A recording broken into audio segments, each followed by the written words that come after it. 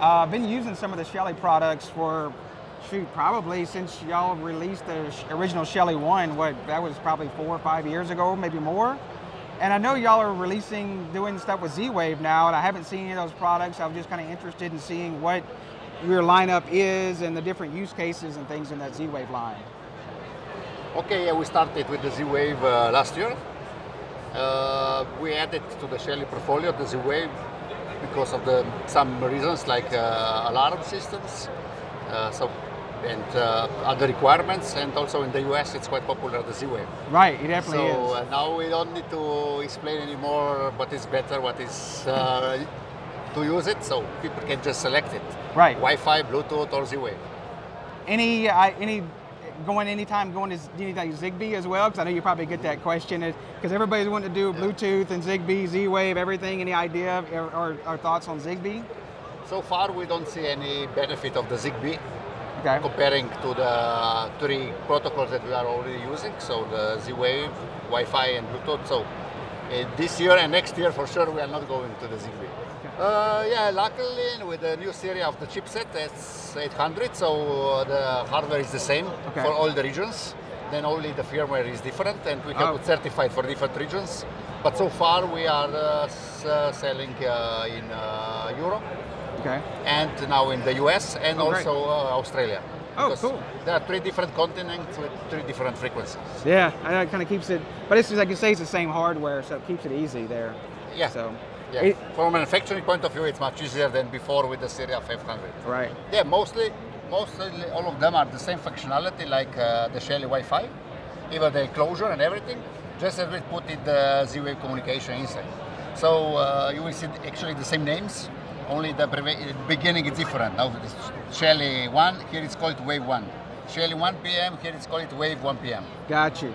So as you know all of them, uh, we can explain me one by one or No, it, Yeah. ke- it keeps it very simple. Yeah. I mean, but the the naming convention. Yes. Is this your Z-Wave gateway or what? Or Yeah, this is we call it uh, yes the Wave Bridge. Okay. So the Wave Bridge it's now uh, mostly done. We are planning to launch in the Q1, so in still in one month something like that, and we'll just take it all Z-Wave devices to the same network of the Shelly Wi-Fi and the same cloud and same application. okay, so it ties in the same application. Yeah. Um, I know one of the big things I loved, and I know everybody else loves about a lot of the Shelly stuff, is kind of the openness of what- where you know where they, especially on the Wi-Fi models, they come with MQTT and everything, and the the like I can take a new Shelly and, and really don't even need the app and just pair it up my network and then bring it in, which is very cool. Um, is that same kind of openness going to be there with that with the Z-Wave bridge, or is that going to be tied more to y'all's app? Uh, yeah, at the beginning for sure it will be tapped to our uh, app, so that will be in the cloud. But after everything is connected to the cloud, then the same API is used for the Shelly Cloud. Everyone can use it. It's That's like, awesome. Like that, yeah. That's awesome. What do you know? What chipset they're using in there? The I know they had the different series, different Z-Wave chipsets. Yeah, for all products, and also here we are using S800 series. Oh, okay, Yeah. great. Is that Uh, was, it the, was that the long range one that they're do, they're doing the Z? They have Z-Wave long range. I know I've kind of heard a lot of you know talk about that. Is that any kind of long range stuff in that? So the, we will also start with the long range. Actually, the long range is the same hardware. Right. It's only the settings different, and then we have to make the different certification. Cool. It's like the FCC for radio, it's different.